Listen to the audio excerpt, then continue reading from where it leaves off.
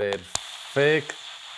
El cine tal y como lo conocemos está cambiando muchísimo. Yo mismo cuando empecé a estudiar en la universidad y venían a dar los charlas profesionales del sector, ya nos avisaban de cómo incluso todo el tema de cámaras estaban pasando de pasar a rodar de formato analógico a formato digital. Y de esto hace 7 años. Por eso en este vídeo os voy a hablar de la tecnología real time o en español tecnología en tiempo real.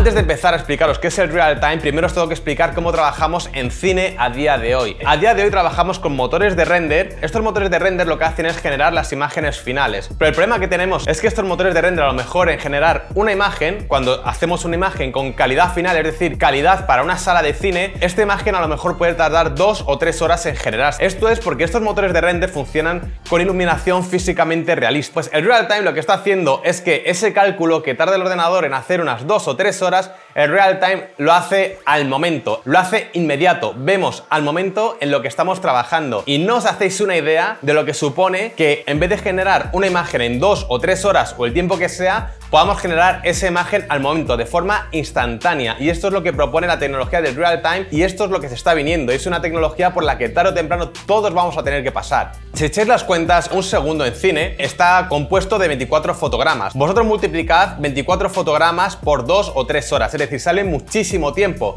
Pero en cambio con el real time estamos haciendo ese cálculo de forma directa, lo cual nos ahorra muchísimo tiempo de trabajo y de procesado y también a los artistas nos ayuda muchísimo para que nos centremos en los apartados artísticos en vez de a lo mejor en apartados más técnicos para optimizar nuestras escenas finales y que en vez de tardar la escena en renderizarse tres horas, pues a lo mejor tarde dos horas o dos horas y media. Es decir, podemos ir al grano y trabajar directamente la parte artística. Y aquí entran de juego también los videojuegos. Y me preguntaréis, Héctor, ¿y qué tienen que ver los videojuegos con todo esto del real time? Pues bueno, yo os adelanto que nada. No, broma, sí que tiene mucho que ver. Vamos a verlo. A ver, los videojuegos han ayudado muchísimo a impulsar esta tecnología. Estamos hablando de que mandamos millones y billones de rayos para iluminar las escenas. Todo esto en tiempo real y esto es lo que se ha conseguido ya en videojuegos y motores de tiempo real. Por eso la relación de videojuegos con esta tecnología es muy estrecha porque gracias a ellos se ha podido evolucionar muchísimo en esta tecnología y grandes profesionales de los videojuegos han sido los precursores de impulsar todo esto en el cine, lo cual es una auténtica pasada. Y ya que sabemos lo que es el real time y ya que entendemos qué es el real time y por qué es tan importante y por qué va a ayudar tantísimo al cine, voy a poneros un ejemplo y es que esta tecnología se ha empezado a usar ya en cine en rodaje. Estoy convencido de que muchos de vosotros habéis visto el making of de una película y habéis visto que han rodado la película pues con las pantallas verdes esas que ponen detrás y que luego lo quitan y ponen un fondo. Un fondo que se hace en el proceso de postproducción, que es donde trabajamos los artistas de efectos visuales y que suele ser un proceso que puede llevar meses de trabajos o incluso más de un año de trabajo. Y lo que está haciendo esta tecnología es que directamente, como estáis viendo aquí las imágenes, durante el rodaje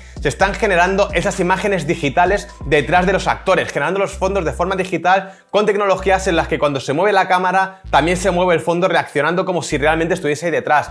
De verdad, esto es una locura. O sea, esto no os imagináis lo que va a ayudar a directores y a producciones a que todo se genere de forma mucho más inmediata y que va a cambiar muchísimo la forma en la que se hace cine y va a poder acelerar muchísimos procesos. Y como he dicho antes, también nos vamos a poder centrar mucho más en el apartado artístico del principio de las producciones. Esto está empezando, pero todo está apuntando a que esta tecnología va a cambiar muchísimo el cine en el futuro. También os he querido poner otro ejemplo en el que vamos a ver una presentadora que está hablando a cámara que nos está diciendo que está generada por tiempo real. Bien, bueno, este ejemplo vamos a decir que es un ejemplo para sacar músculo de estos motores de tiempo real y en el que nos propone esta presentadora, fijaos en el pelo, fijaos en la iluminación, fijaos en la ropa, todo está muy muy bien hecho. En este caso, este personaje, como podéis ver, se cae de lleno en el Valle Inquietante. Si no sabéis lo que es el Valle Inquietante, por aquí os dejo un vídeo que hice hablando del Valle Inquietante y explicando por qué ocurre, cómo solucionarlo, etcétera. Con lo cual, si no habéis visto lo que es el Valle Inquietante, recomiendo que pauséis este vídeo aquí, vayáis a verlo y volváis. Y ya que estáis, pues también os suscribís al canal. Uy, qué... Joder. Y ahora os voy a poner también un corto de Star Wars que también es un corto de demostración. Se hacen para enseñar hasta dónde llega esta potencia, hasta dónde llega esta tecnología. Y en este corto de Star Wars es un perfecto ejemplo de cómo funciona todo esto. Fijaos en los reflejos, la calidad de las animaciones, la calidad de los entornos, todo es una auténtica pasada y que esté todo esto generado en tiempo real, a mí se me va la cabeza. Quiero que os paréis a pensar en un momento, ya que estáis viendo este corto de Star Wars y que os habéis visto el otro ejemplo de la presentadora, lo de los rodajes del cine, etcétera, quiero que os paréis a preguntar qué salidas tiene esta tecnología del real time, porque no solamente estamos hablando de cine o demostraciones de cortos, etcétera, es que esta tecnología va a cambiarlo todo. Y ahora vamos a ver otro ejemplo de otra compañía, bueno, una compañía que es una auténtica bestia, que sinceramente hizo una cosa que a mí personalmente me dejó loquísimo. Esta compañía es Epic Games y Epic Games son los creadores de Fortnite, que estoy convencido de que todos conocéis Fortnite, todos sabéis lo que es el juego, etcétera. Vale, Fortnite está basado en su propio motor de real time o su propio motor de videojuegos que es motor de videojuegos pero también es motor de tiempo real. Por eso os decía que tanto videojuegos como esta tecnología están muy conectadas porque ahora mismo Unreal Engine es uno de los principales motores de esta tecnología tanto para cine como para videojuegos. Tuvieron la idea de coger y hacer un concierto de un DJ, en este caso del DJ Marshmello, a través del videojuego. Eh, repito, un concierto de un DJ a escala mundial a través de un videojuego. A mí se me va la cabeza de pensar esto, o sea, las implicaciones en el futuro que tiene esto es una auténtica pasada y que todo el mundo pueda acceder a ello. Por eso os hablo de que esta tecnología tiene un futuro que es una auténtica monstruosidad y nadie sabe ni siquiera qué límites tiene esta tecnología. El concierto este arrasó y fue una auténtica pasada y espero que sigan este camino y que sigan investigando e inventando cosas de este estilo. Por eso os decía que pensad todas las aplicaciones que os ocurran, porque fue este concierto, pero también puede ser útil para medicina, útil para automoción, por ejemplo, si queréis crear coche. La verdad que es una tecnología que tiene muchísimo futuro. Y la verdad que estaría muy guay que me pusieseis en los comentarios vosotros qué pensáis de este tema y qué pensáis de esta tecnología. Y por ejemplo, qué ideas se os ocurrirían a vosotros donde puedan ser implementadas. Esto no es ninguna tontería, porque es que vais a escribir ideas que estoy convencido de que en el futuro se van a hacer. Ha abierto muchísimas nuevas puertas, sobre todo al poder hacerlo al instante, en tiempo real.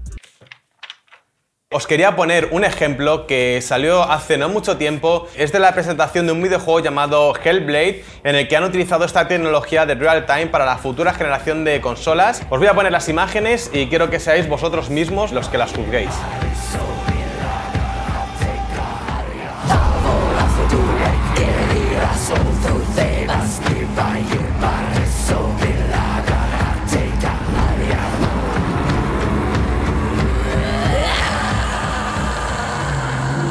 Lo que acabáis de ver es una auténtica bestialidad. Ya no solamente estamos hablando de iluminación, estamos hablando de una calidad de texturas altísima y una calidad de animación altísima. Ni siquiera tiene valle inquietante, pista, animación manual. en fin, todo va a cambiar. No se sabe si va a ser en 5 o 10 años, pero esta tecnología va a cambiar todo. Obviamente el real time también está siendo aplicado en otro tipo de índoles, como puede ser, por ejemplo, la realidad virtual. Ya sabéis lo de las gafas que os ponéis para jugar a videojuegos y estar como dentro del videojuego. También en temas de realidad aumentada y en el caso que a mí más loco me dejó es en el caso del tiempo. En el programa este del tiempo que empezaron a hacer, pues bueno, las demostraciones de unas inundaciones utilizando esta tecnología y que sinceramente me flipó a saco. ¿Y cuál es mi opinión final y la conclusión de este vídeo? sinceramente, todos los artistas, como ya he dicho, estamos mirando de reojo esta tecnología porque viene pisando los talones a todo lo que hay planteado ahora mismo y sinceramente yo sé que en el futuro me va a tocar pasarme a esta tecnología. A día de hoy, por ejemplo, en el caso de mi departamento, todavía no está del todo bien implementado porque se pierde demasiada calidad. Cuando yo hago, por ejemplo, una explosión, un efecto mágico por una película, el proceso de pasar mi efecto para que sea visto en tiempo real sacrifica demasiada calidad de ese efecto, con lo cual,